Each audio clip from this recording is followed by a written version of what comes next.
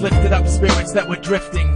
I've screamed regardless of who was listening. I've dreamed while the rifts below me are shifting. I've had to lose grip of the one thing that I'm missing. And as I'm sifting life through sweaty palms, I'll stay positive and headstrong. Calm when the threat's gone, and aware when it's time to just